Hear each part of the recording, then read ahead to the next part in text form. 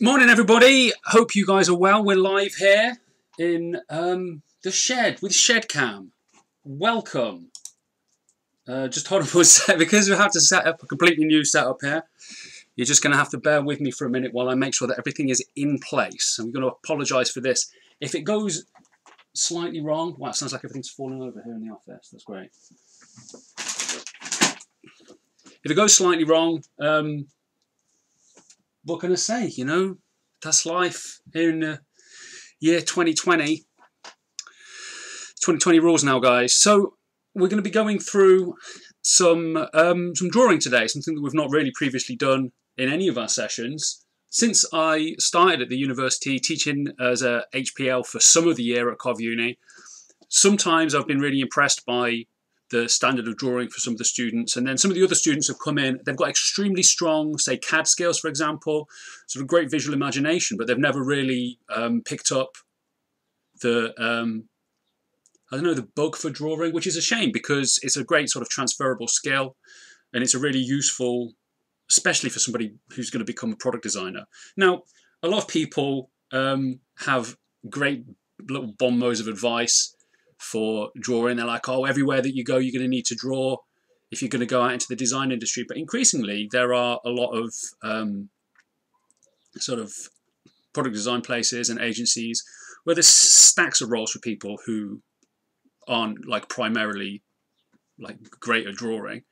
If their skill set lies in sort of other areas, they may be uh, into the research section. They may be able to do all kinds of amazing stuff in CAD, but never quite picked up drawing. So this is for this is for people who kind of like I'm not going to labour the point and make sure that you guys understand that it's like it's the most important thing because a lot of people say that and I'm not convinced necessarily that it is anymore but it is important. I think it's really useful still regardless of even if you get a, a job at a place where they don't require you to be sitting there with a pen in your hand all day every day.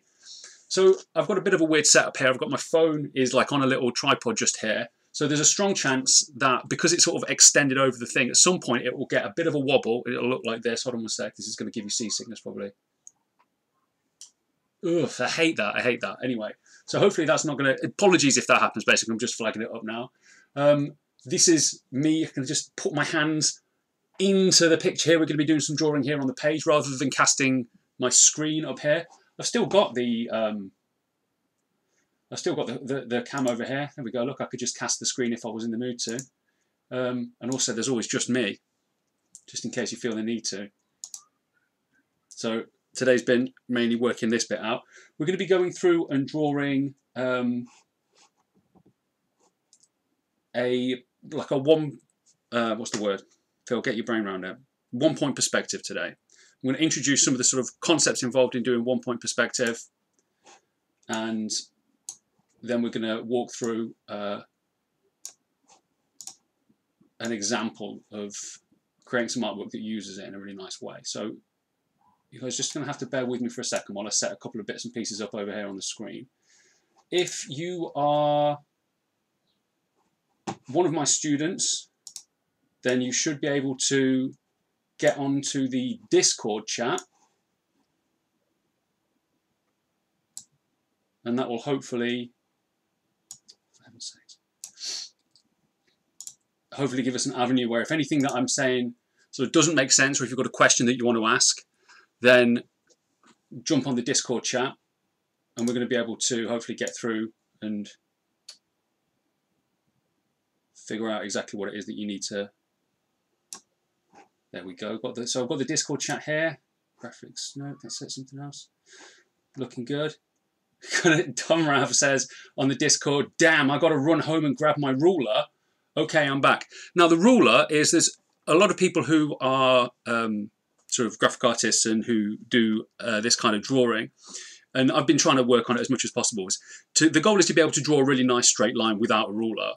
Um, and we'll, I'll go through a couple of exercises that I use to sort of um, drill that and train that. Because in addition to sort of being a mental skill where you've got to understand what you're doing, when you draw, there's an element of physical skill and muscle memory that makes life easier for that. So we're going to go through that if you don't have a ruler, then it's not the end of the world. You'll just your lines will look straighter if you do have a ruler. You'll notice that I've not got any especially um, sophisticated equipment just here, when I first started trying to learn how to do a lot of this stuff, then I was fascinated by finding out sort of what pen does that guy use? What's the paper? If you watch some of the YouTube tutorials, people will be talking about like what the bite on the paper is, what specific make of paper they use, sort of like what cylinder they use in their pen, what holder they use, what kind of what's the what's the level of your what kind of pencil do you use, all this sort of stuff. Well, the reality is um, that it's it's this and it's this and it's this more than it is any of this stuff. So I'm just going to be using some fairly sort of crappy pens today and I'll explain how you can work in a way that integrates with our normal Photoshop rendering technique. Now, what we're going to be doing this morning is we're going to be going through doing some, um, we're going to be going through doing some drawing. Then this afternoon, we're going to do the two o'clock session.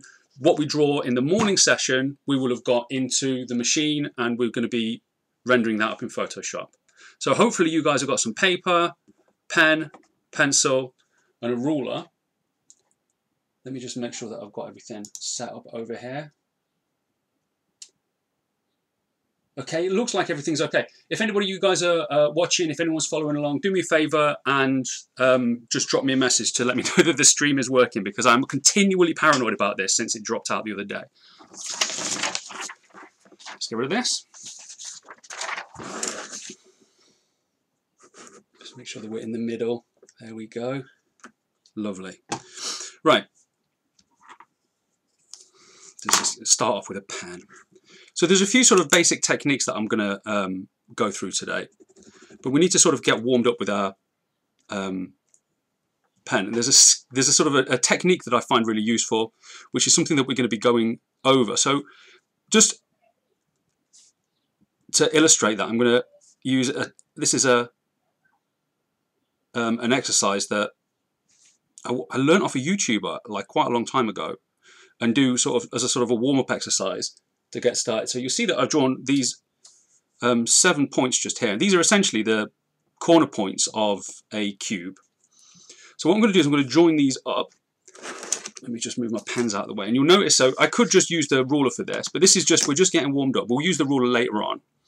So I want to introduce you to this idea. So first of all, I'm going to be a lot of the time turning the page round whilst I'm drawing. So you, this is one of the reasons why I'm not using a pad because it's a pain in the neck to do this.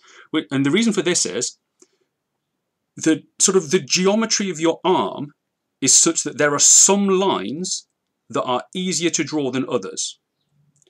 So for example, if I want to draw a straight line, drawing diagonally, basically, if you can imagine that my shoulder is a pivot. And if I just carried on, I'd eventually draw just a massive circle. With, with minimal changes, I can control that line to be a straight line. So when you guys are drawing, you might draw with your fingers like this for drawing small things. You might draw with your wrist for drawing larger curves like this. But if you want to get a nice straight sort of, you're going to be as much as possible shifting the motion of the drawing over to your shoulder so that you can get a nice straight line like this. So what I'm going to do is, in order to make sure that I've got this, I'm going to rotate generally the line round so that I'm drawing in line with that um, line that I can draw with my shoulder. And I'm going to ghost line it in like this. I'm going to just make the motion with the pen, but without putting the pen down. And so what I can do now is I can practice drawing the line without committing to drawing the line. So the goal is that I can get it so that I'm satisfied with that motion and then commit to the motion. So then I can do this line to here the same way. From here to here.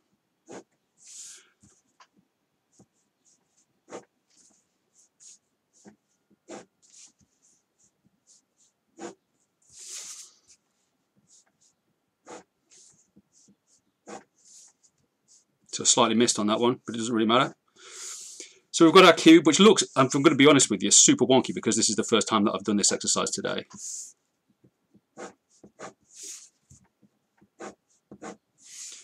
Okay, so once you've done this, what I'm going to do is I'm going to draw diagonals across each one of the faces.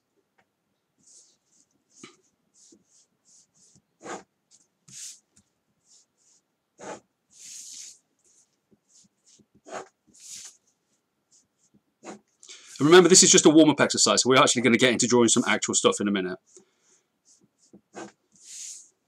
So that looks okay. Those lines are pretty straight. The, just the cube is a nightmare. It's a wonky as heck cube, but whatever. And then this is the bit that kills me always. And now you've got to do, oh man, I'm so bad at this. We've got to draw an ellipse that basically fills this side, then this side, then this side. So again, I'm going to just ghost the ellipse. Okay.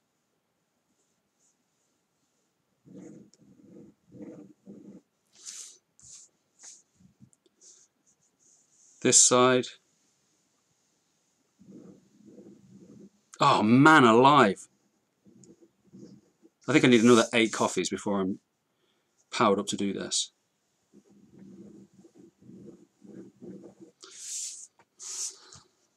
Let me just try again. Usually do this a little bit smaller and I feel better about it.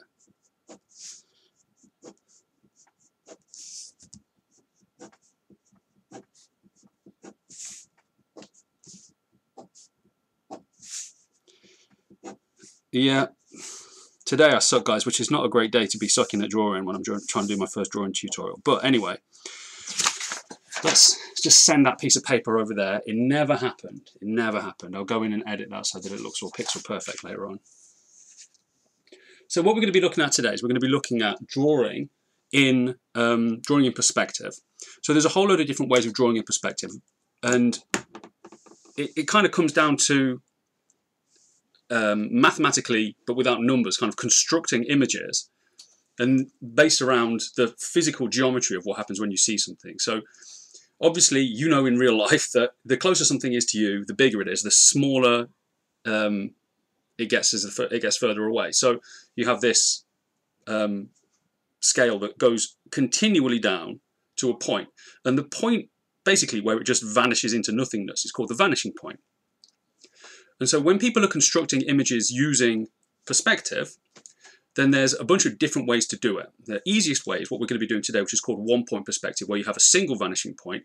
In later sessions, we'll look at doing two-point perspective and then three-point perspective. And these are sort of variations. And as they become more complicated, they become more sort of visually accurate, um, but much more difficult. So the one-point perspective, the benefit of it is it's very easy to understand. And it also, for certain things, if you're going to be drawing one point perspective is fine and will help you communicate three-dimensionality and physical depth in a way that would be difficult to do just off the top of your dome. So people often, I think, have an issue with drawing because they um, they always perceive it as being this sort of like weird innate skill. And our culture has got this like it's a bit of a, a thing about um,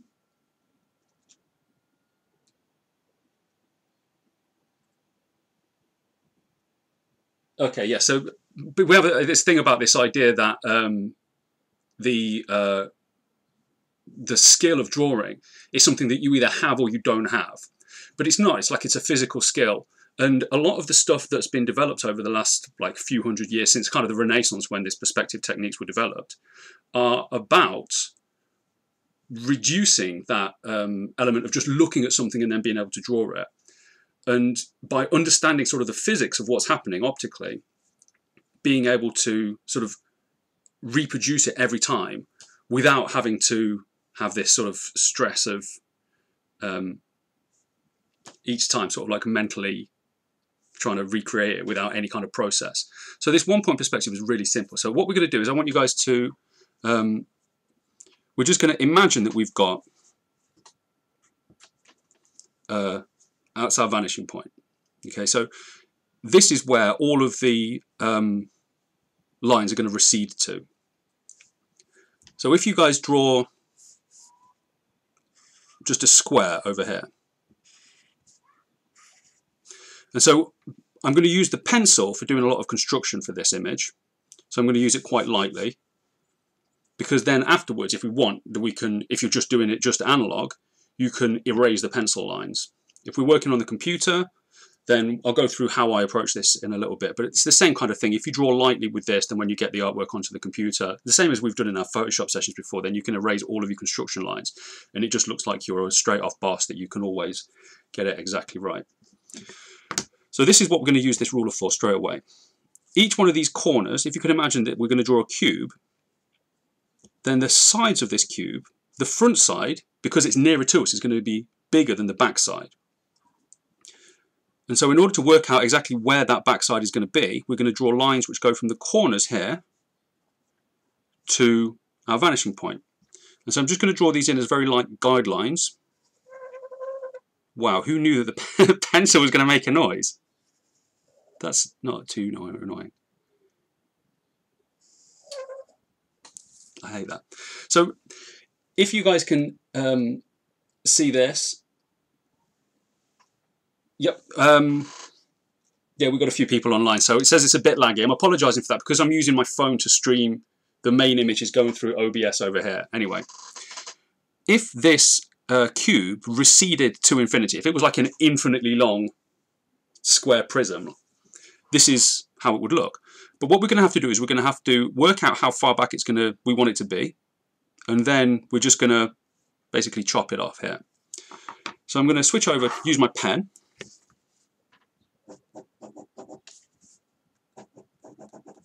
I'm just going to trace these front edges here.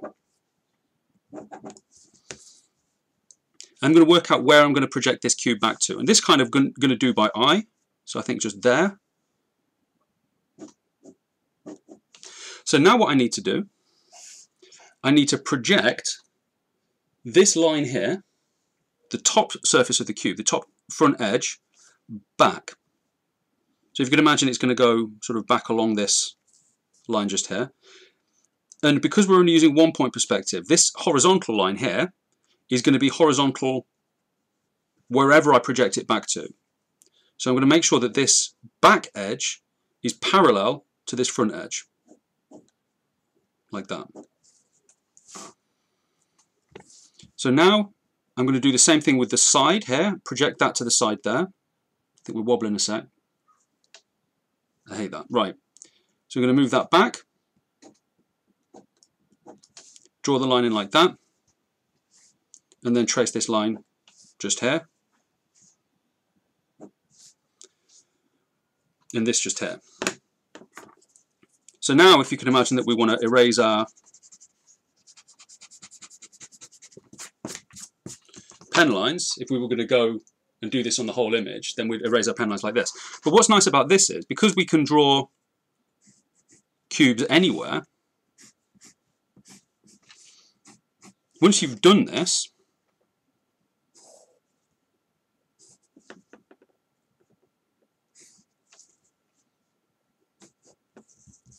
this um,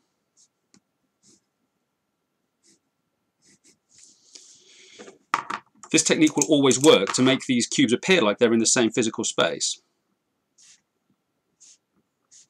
And so long as we make um, sure that we keep this consistent, the vanishing point consistent,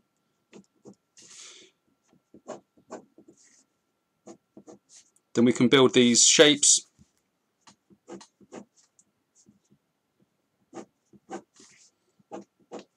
That will all sort of coexist in physical space. So what I want you guys to try doing is try doing this technique drawing shapes, even if you don't draw just a cube, if you draw basically whatever shape you draw flat as the front edge, you can then project back. So even if I draw a really weird shape like this, the exact same rules are going to apply.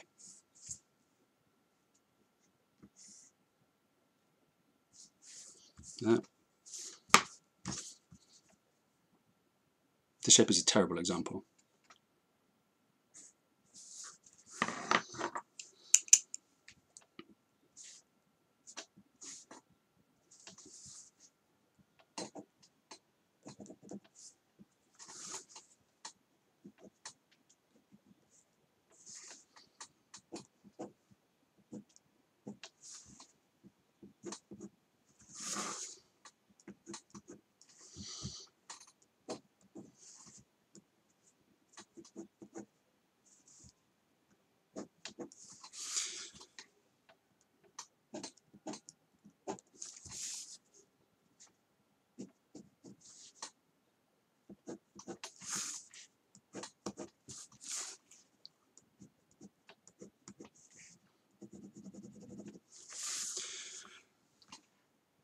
Okay, so that looks okay. So any kind of any kind of shape that you put here, even if your cubes are sort of rotated around at weird angles,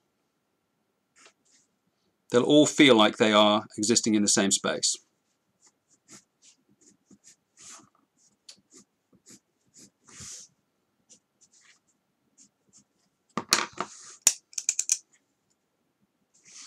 And so obviously, you guys aren't just going to be constructing your artwork out of cubes, because unless you're designing cubes for a living, there's not much money in that.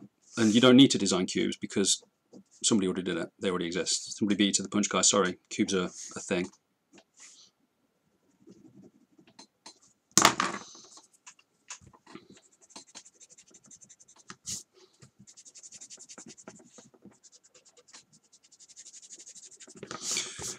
So if you can imagine you could build up quite a complicated image like this.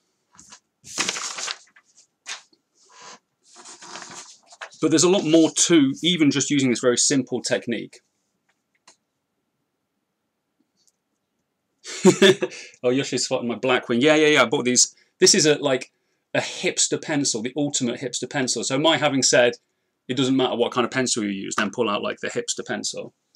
Um, so let's say, for example, that I was going to build something that was a little bit more complicated than just a um, just a single uh, cube like that. Let's say I was going to draw some kind of a building or a scene or something.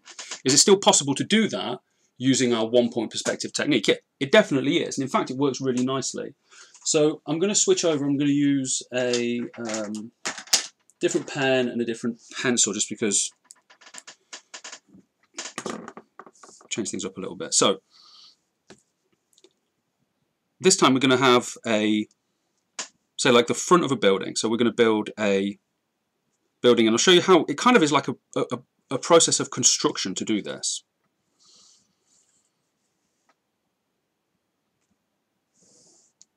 So let's say we've got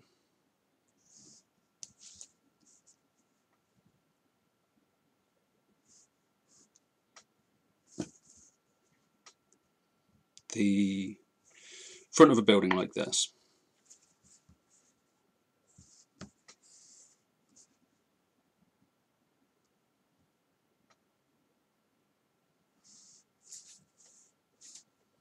And we want to sort of construct this. So we're going to construct a scene around it. So one of the things that you'll notice about this shape that I've drawn is that it's dead square on.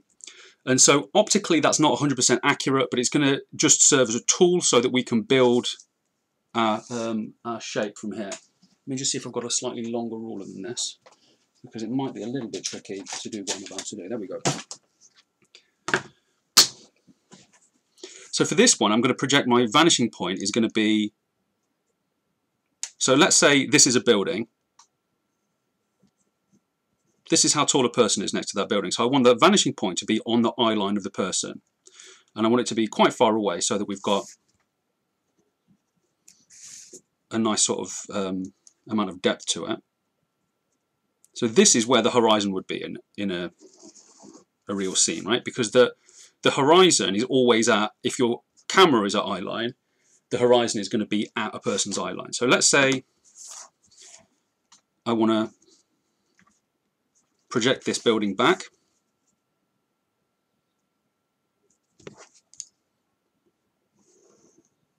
So I'm going to draw my construction lines like this, my guidelines, down obviously towards the vanishing point just here on the right. So this point here, because that's above the horizon, if there was a line coming from this, it would go through the building. So we don't need to draw that. But what we're going to do is we're going to have this front of the building is going to be quite small, quite narrow. And then it's going to come down like this. So I'm going to draw another line like this. So you can imagine that this is almost like a tower and then the building that projects out back behind it. So what we kind of do is just like construct this image in three dimensions. So I want to have a, um, a bit that protrudes out from the side of the building just here. So we're going to have, that's the front of that bit. And again, because we're just in one point perspective, we're going to draw this bit as though we were looking dead on for it.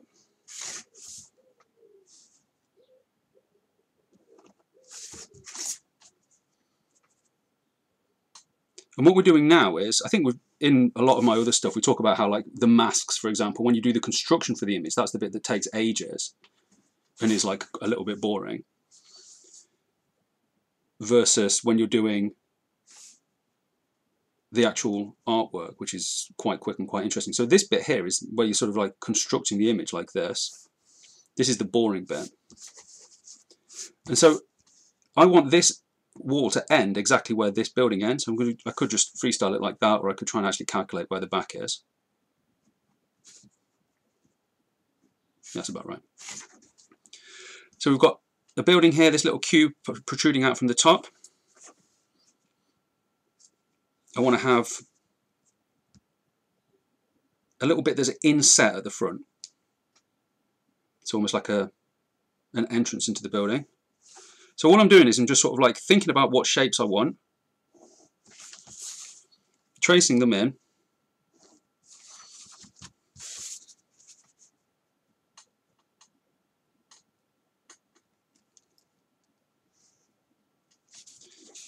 and then you can just use the perspective to sort of construct them and make sure that they work. And so we're going to have like an entranceway and this bit just here. This ruler sucks.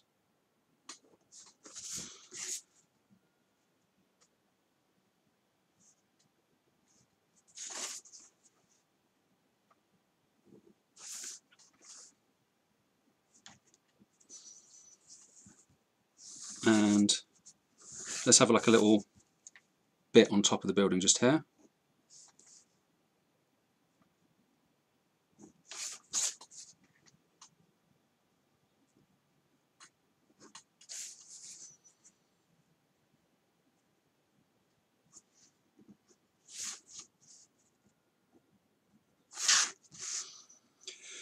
So hopefully this makes sense. You can kind of see the um, the outline of the building.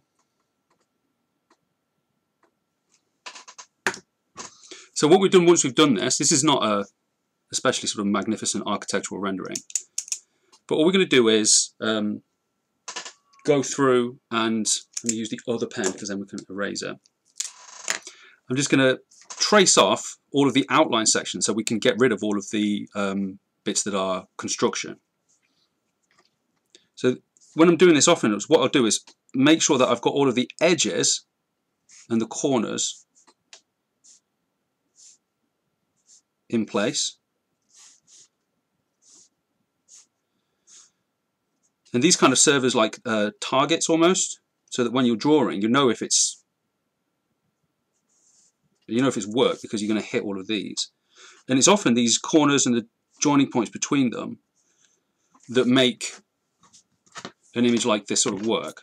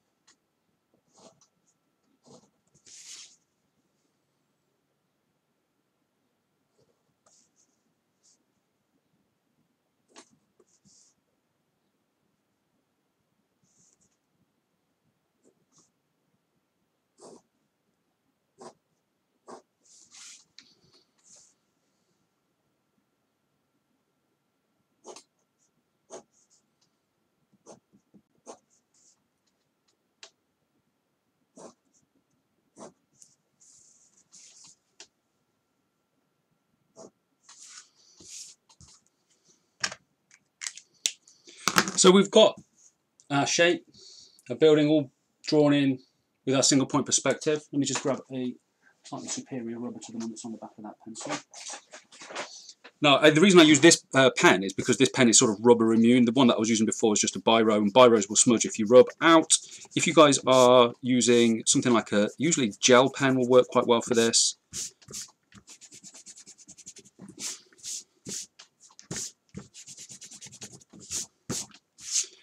So we've got our building now that looks, I think it looks okay.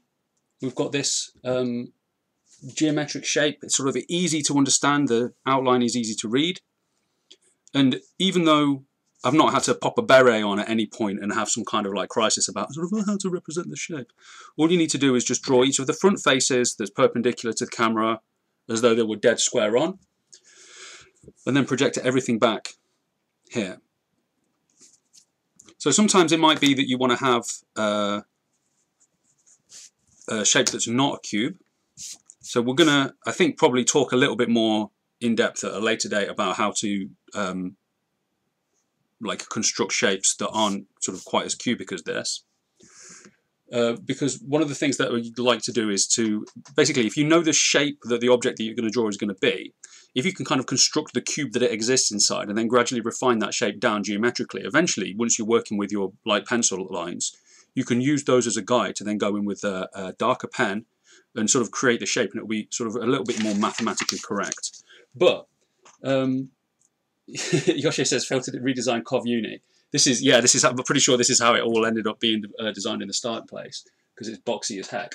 Um, cool. If anyone's following along or joining in, um, uh, let me know. We're gonna. Um, I think we're actually going to get started with what I was going to draw today. So we're going to draw. Um, I'm going to show you how to use this one point perspective technique to draw um, a like just a, an office chair, like a gaming chair, because it it's relatively straightforward to do, um, and because of the shape of it, it's going to work okay with our. Um, it's going to work okay with our technique. So I'm going to use for this is sometimes you notice before I was using the pencil and I used the um, rubber just to rub this out. So what I'm going to do now, go away pencil, we're going to use this. So this is just a cool grey marker and I'm going to use this to um, do my underdrawing. And the reason for this is that what I'm going to do is I'm going to take the artwork that we're doing this morning, I'm going to scan it in, well, just scan it in, literally I'm doing it now, just use the phone to photograph it, bring it into Photoshop, and this afternoon we're going to do the render, and part of that is there's a very easy technique to kill this in your um, in your drawing. But there's loads of different ways in order to do underdrawing. So if, for example, I ended up with a real messy piece of artwork to begin with, or like let's say for example that I did this piece of artwork entirely with like red pen underdrawing which I quite often use and I needed to um, produce a much cleaner copy but without having to necessarily go into Photoshop. The traditional way of doing this is, um, oh, it doesn't really come out very well on the screen, is to literally put the sheet underneath the sheet that you're working on. And usually if you're working on layout paper, it's a little bit thinner than this, which is ooh, 80 GSM printer paper. But we're going to look at how we're going to draw our um, gaming chair to begin with. So I'm going to use the fine end of this and literally all I'm going to do to begin with is I'm going to think about what the front edge of the chair is going to look like. I think maybe this way around is better for the paper, but it's not better for the screen, is it, Phil? Come on, use your head. So we're going to just draw, we want to have the um, headrest, the body of the chair, the seat, and then I'm going to put one of these little footrests that come sliding out because they look pretty cool. Um, so I'm just going to think about what the angle is going to be for it. So I want the headrest to be here, the body is going to be like this maybe. The chair, the seat of it, want to be slightly inclined up maybe. Then we're going to have a little footrest that looks like this. So this is just the initial phase of this. I just need to think about exactly how it's going to look. Because if you dive right in and start doing all of the construction and everything before you've visualized it, then you can end up making a mistake. So you'll see um, some of these guys on YouTube who do their sort of drawing tutorials are like gangsters at this. They will literally just leap straight in and start drawing super complicated images.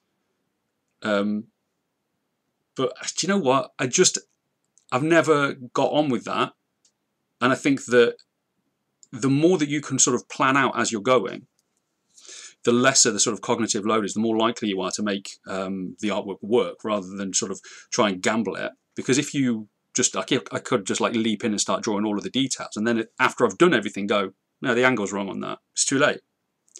So do it bit by bit. So I want to have the side section of the head look like this. Um, what's that?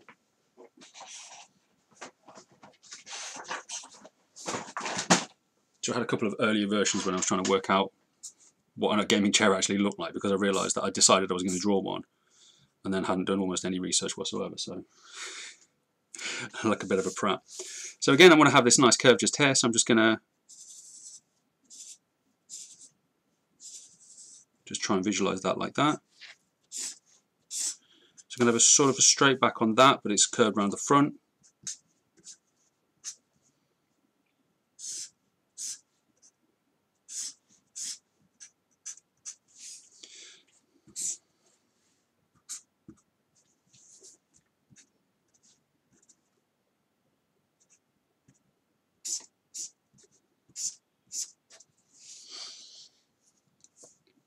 So hopefully that works. It feels like that you could sit in that at least. I'm sure if the seat is too long. Anyway.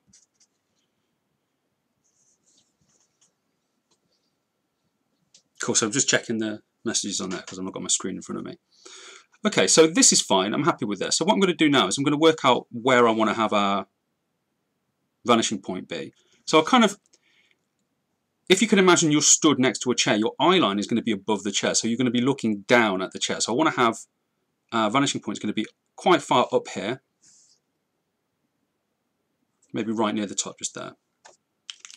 So let me just, I'm actually going to put a little tiny point there because that is too inaccurate a dot. So although we don't have cubes now, obviously these shapes don't have corners, I'm still going to project them back from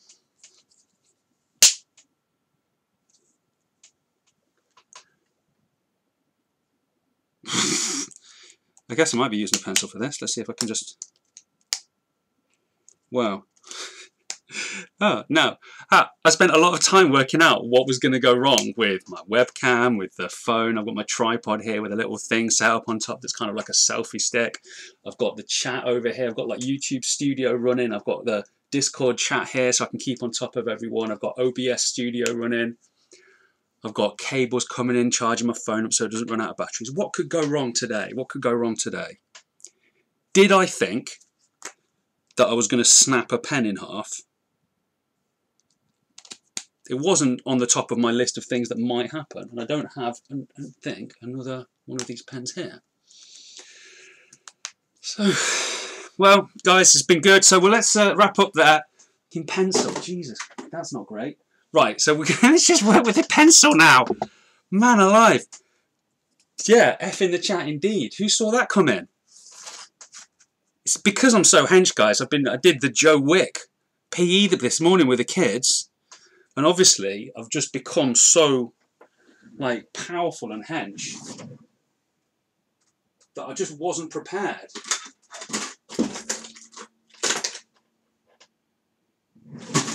It's just chaos, guys. It's just chaos.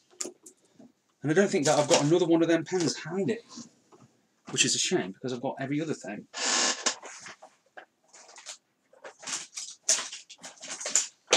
No, tell a lie. I've actually got quite a few. Hang on. Right, fingers crossed for this one. Let's see if we can do it. There we go. Right, after that brief interlude, right, let's look at doing this. So basically what we're going to imagine is, how am I going to draw? Because there's no corner for this here. Does it work? Yeah, it works. So I'm going to put my finger on the um, actual angle, the um, vanishing point. I'm going to rotate round until we basically hit the edge of the object. I'm going to project that line back. And so I'm going to carry on down until we hit the next thing that we need to project back project that back. And so you kind of do this sweep round from here, from the vanishing point.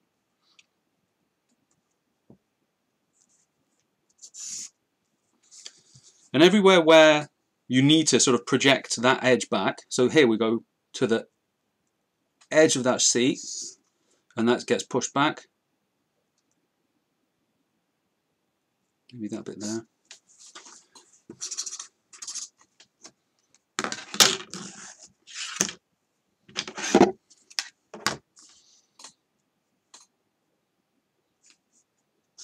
Front edge there.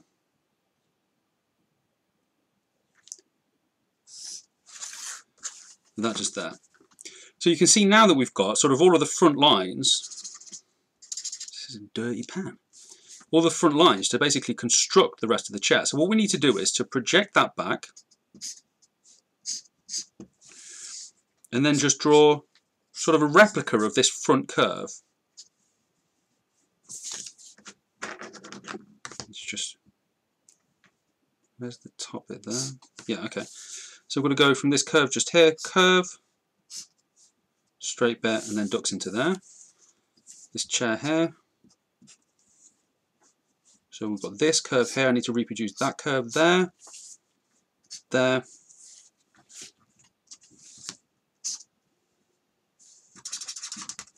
That's great.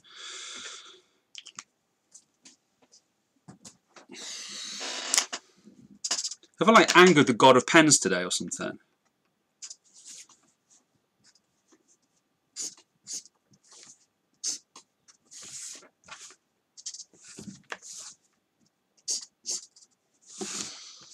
So now I'm just going to go over and just tidy up some of the bits so that I can get a sort of clearer idea of how I want it to look when I actually go in and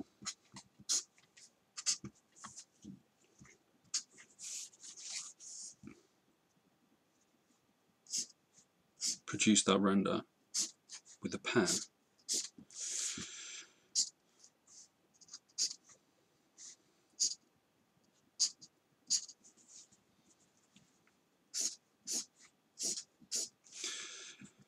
So I'm just putting in some sort of surface details onto the chair. And again, each time there's a line which is going to go towards the vanishing point, all I need to do is just either just visualize it, or if I was being really careful, I'd probably use the ruler.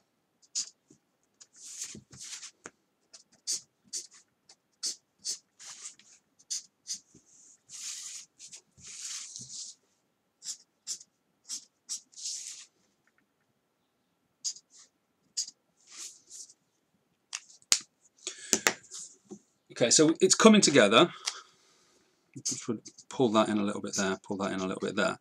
So we get to make some sort of judgment calls about how it's going to look now because we're not doing the final draw now. This is just the construction. So we're planning still. This is still planning. None of what we've drawn so far is actually going to appear on the final piece of artwork because we're going to use the Photoshop to the Photoshop, like I'm a nan. We're going to use the Photoshop to clear all of this out. We're also, what we're lacking now is the central spine and the little wheels at the bottom because what is a wheelie chair without wheels, guys? So again, I'm going to jump in and use the ruler. So work out where the center line for this is. I think probably your center of mass is going to be just back from the front here. So it's going to be pointing just there.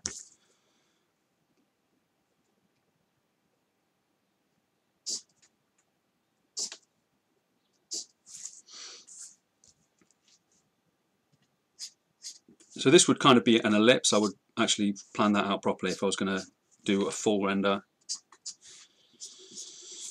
So what I'm going to do now is I'm going to work out where I want the the front wheels to be. So I kind of want them to be more or less vertically below the four corners of the seat. So I'm just going to put them like that. So we're going to have a wheel here and it's going to connect like this. But where do the back wheels go? It's actually easy enough to work out where the back wheels go because we know where the top of these wheels are. So I'll just project that shape back.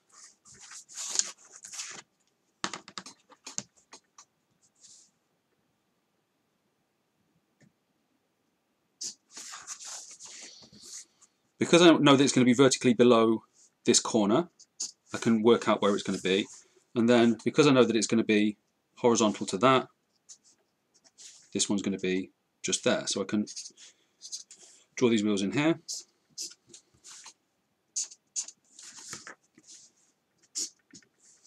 And we know that that's going to work. So I'm going to just put a little, another ring here. That's the top of that arm, the top of that arm, top of that arm, top of that arm.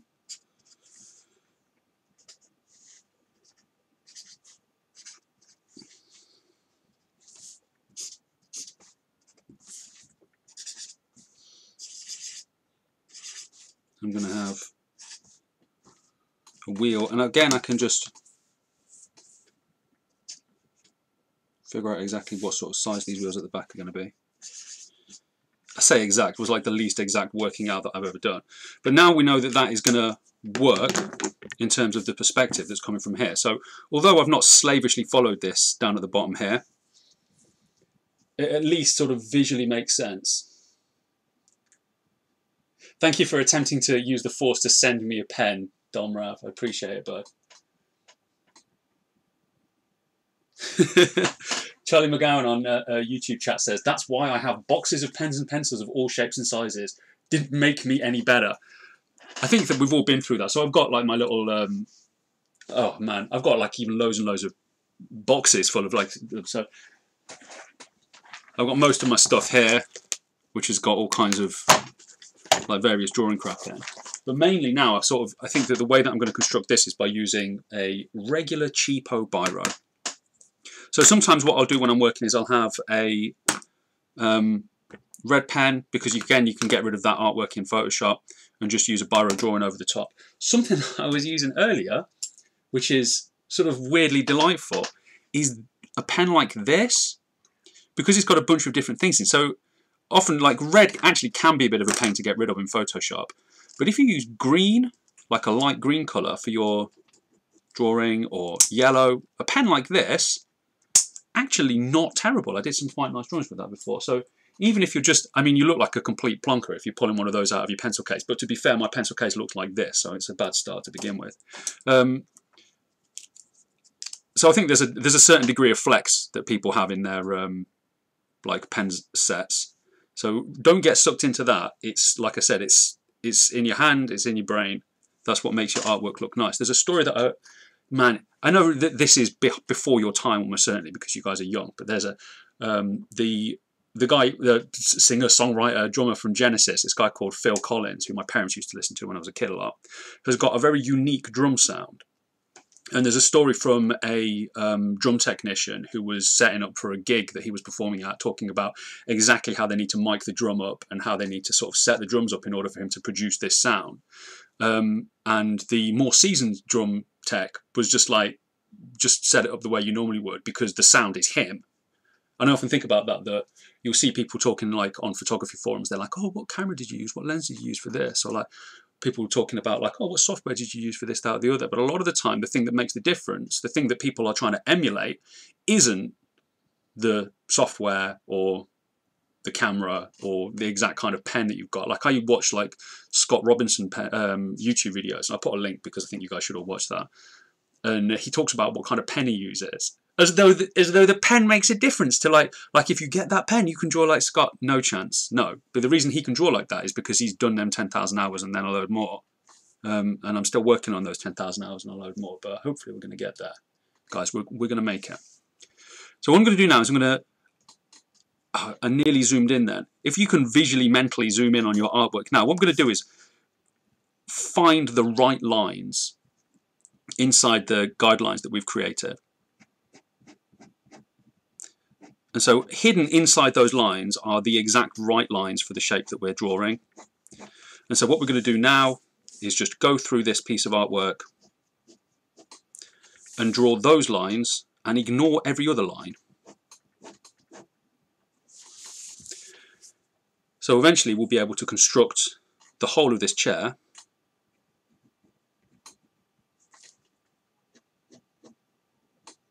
And so often what I'm focusing on while I'm doing this first part here of doing the trace is the corners of things because it's kind of like if the corners are right, then you're kind of just joining those shapes up. It becomes almost like a sort of a complicated dot to dot that you're constructing for yourself as you go along.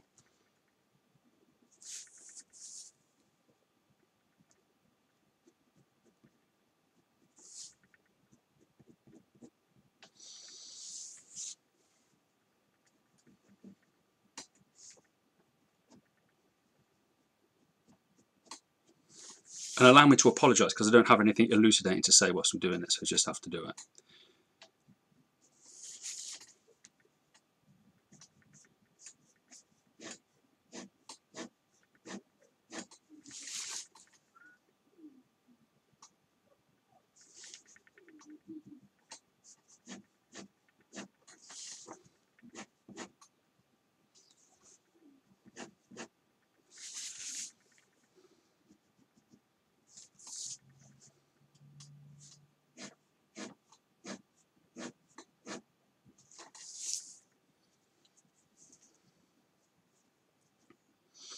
Okay, so we've got the bulk of those, um, like the corner lines for the silhouette done. And the silhouette is one of the most important parts when you're doing a design like this. Because it gives you the sort of the read on the shape more than anything else.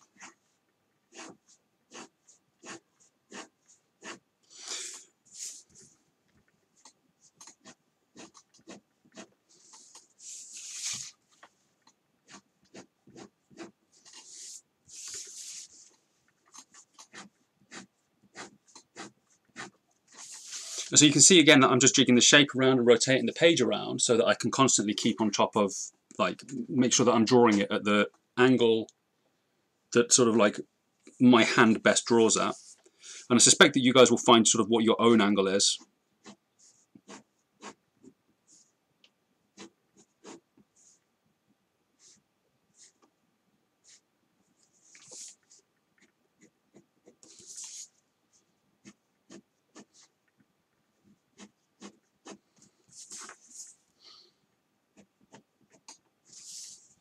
So kind of imagine these as being sort of almost like soft or, or recessed slightly panels in the um, back to provide some kind of support.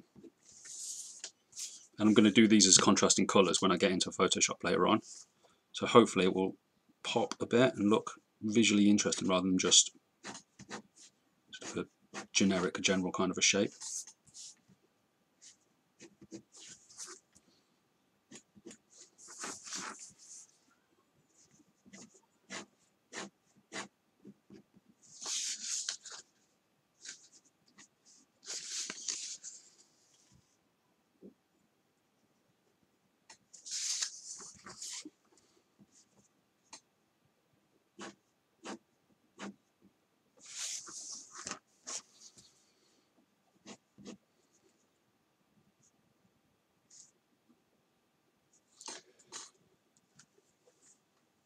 Hope everyone's okay on the chat. Let me just double check over here. I'm just going to get sucked in too much. There we go. Yes, the gorilla. That's exactly it, Yosho, um, on the Discord.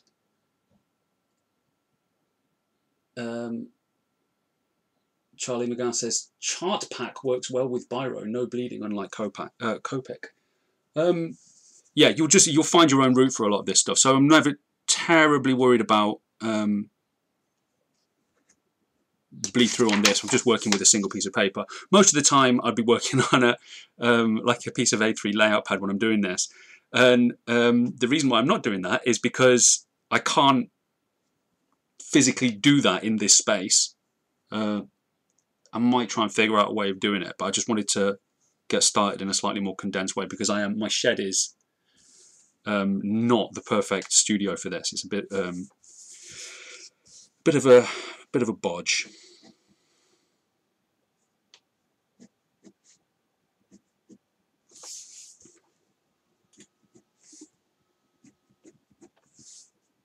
Okay, so we've got these. Oh, we're doing this bit here.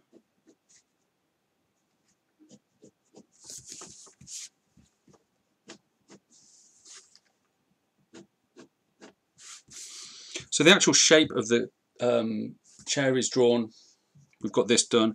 This bit down here is perhaps going to be a little bit more of a pain in the ass to do. Uh, pain in the neck. Obviously would never say anything bad on a public stream like this, guys.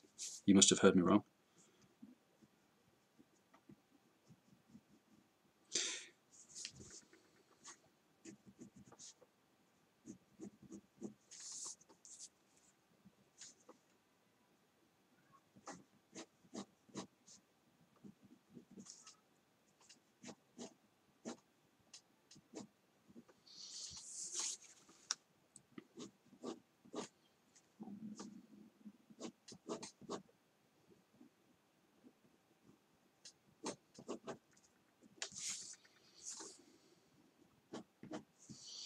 Okay, that about right.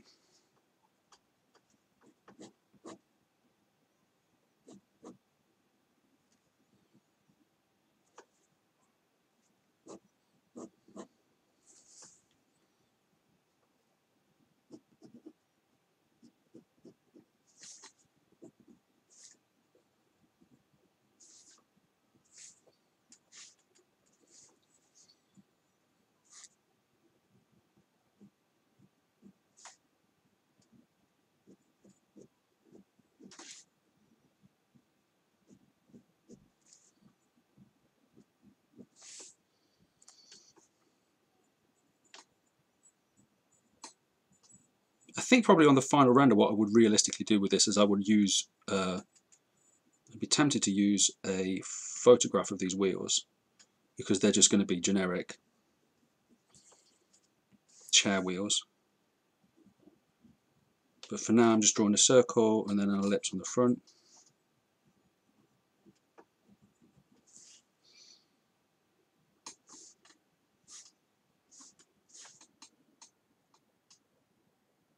Just give them some alloys, look.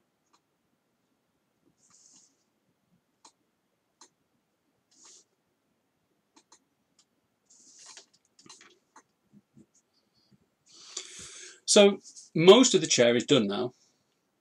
Uh, I hope that it makes sense how we've done it. Let me just going to add a few extra bits and pieces in now. So what I want to do is, I need the ruler. I'm going to basically add a kind of like pillowing into this. So we're going to have like ribs that again are going to recede back into the back like this. And so with these, I'm just sort of visualizing where this line is. And because there's so much of the artwork that follows the perspective lines, it's actually relatively easy to sort of visualize and follow those lines now.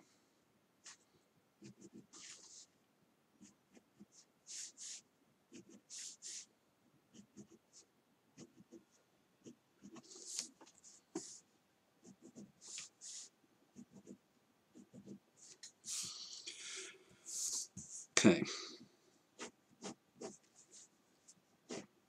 So in terms of the actual shape of the seat and our little wheels at the bottom, pretty much looks like we've got it.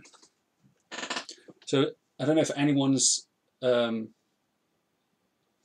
anyone's necessarily following along with this, but I feel like we've got the um, the shape done. Let me just add a couple of extra bits and pieces in because I visualize that these are going to have little connector points just here. Little connector points just here. Now, one of the things that we've not touched on is how to make like the line weight work for us. So by default, obviously the pen is just going to draw um, one thickness, but with a biro especially, you can see that we've got either light or heavy line, and if you do a couple of passes, you can get a real dense kind of line. And there's a way to make that kind of line weight um, an integral part of your artwork. So, for example, because I drew the corners earlier on, the corners are slightly more dense. They've got a little bit more sort of visual weight on this artwork. And what that does is it adds a kind of sort of dynamism to the uh, drawing that would otherwise be lacking. This is one of the, I think, I figured this out ages ago. So like the visual tricks that this kind of um, concept illustration, concept art adds to create this sort of like uh, sensation of it being sort of perhaps a little bit more exciting than it would actually be if you were looking at the real thing. So I'm just going to add in sort of an offset just here so that it gives a bit of three-dimensionality to this side rather than just being flat. So I'm just basically doing a slightly shrunk down version of the edge of the front face and I'm drawing it in quite light because it's just a surface detail. And again, it's projected back slightly from the vanishing point.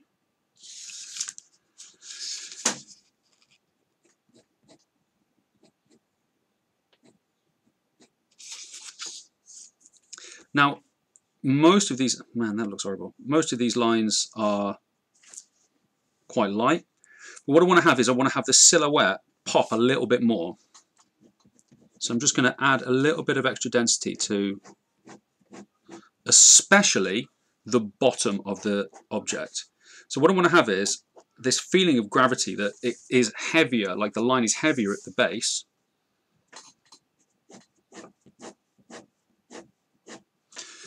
And it's almost like you're implying shading with your pen line. And what I also want to do is where it overlaps, so for example, you're looking past this object here, at this object here, so I want to make sure that there's a real strong like definition just there, so that that separation is sort of visually apparent. And the same with this, because this edge here is in front of this edge here, I want to make it really clear that what we're looking at here is not a surface line, but the edge of the object. You can see now it emphasizes this front edge a little bit more, so it makes it clearer that this object is behind it. And because we're working on a product sketch, the main goal is for us to very clearly visually explain what shape the object is. So again, at the bottom of the headrest to emphasize its separation from the rest of the uh, chair.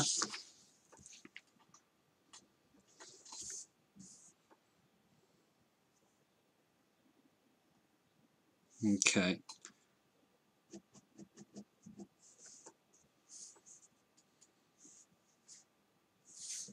Just trying to visualize it now.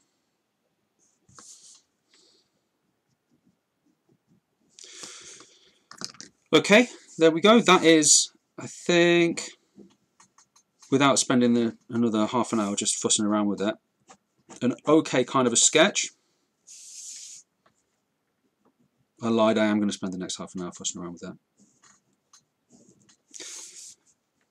Nope, like, we're going to cut it off. This is where we are. So, apologies if I've not stayed in the middle of the viewport for the whole of this time because I'm still not used to working. If I had the screen, maybe it'd be easier to follow. But um, just to double check, if anybody could jump on the uh, chat, let me know whether any of what I've talked about so far has made sense the um, the idea of using this uh, single angle, single um, vanishing point is something that sort of previously I wasn't a ginormous fan of because it always felt like it was the like the poor cousin of working with um, more vanishing points. So if, when, when we start looking at doing a two and three point perspective, that that felt like that was like the real deal for me. But for something like this, the the single vanishing point makes it extremely clear like how to construct the artwork and you don't have to necessarily um, rack your brains too much making sure that everything visually works because it's such a straightforward technique. Yosho says, I got it. So if Yosho's got it, everyone else has definitely got it. Um, so we are we're around about an hour in, so it's not been an hour of drawing, it's been about half an hour waffle and half an hour drawing. So I would love if you guys could um, try doing this, drawing your own chair. Um, and ideally what I want you to do, if you can photograph that using your phone, make sure that you get it as square on as possible, reasonable lighting so there's not a ginormous gradient across it and if you can bring that into Photoshop so this afternoon at two o'clock so that's in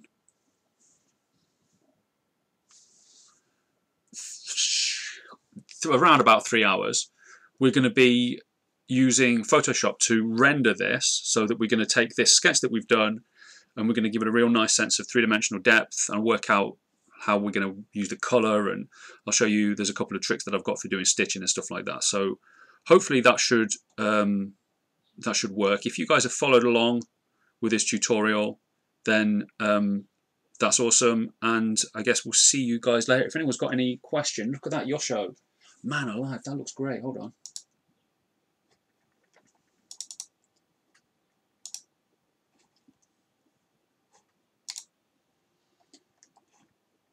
So if somebody has drawn it, Yosho, just let me know in the Discord if I can put that on the other screen and I'll cast it just so that other people can see that it actually does work.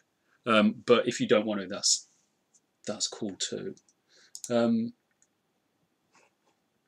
cool. Yeah, so just basically somebody's followed along and done a really nice, uh, a really nice version of it.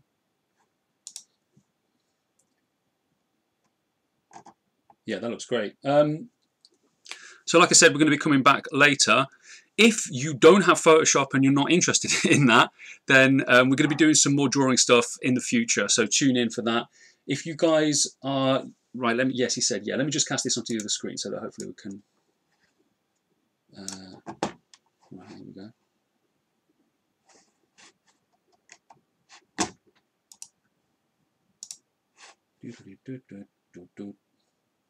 So there we go. That's nice, right? This is um, Yosho. So he's one of my students from the uni. He's on. We've got like the Discord chat going on. So if you're a student and you're not on the Discord chat, then you should be because you're missing out on the the top tier.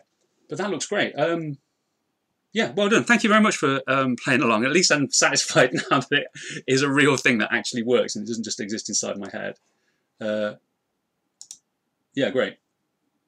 Nice. So um, we're gonna we're gonna get into Photoshop. If you're not, like I said, in Photoshop, then um, come back. This drawing stuff is still, I think, quite useful. If you um, have any questions, feel free to ask them in the YouTube chat or in the YouTube co uh, comments if you're watching this at a later date. Do try it, give it a go. See you guys at three o'clock.